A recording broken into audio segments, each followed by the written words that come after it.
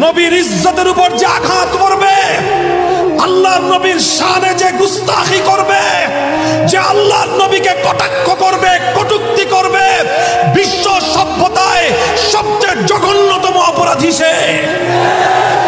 সেই অপরাধীকে যদি কেউ প্রশ্রয় দিতে চায়, সে কোনোদিনও মুসলমান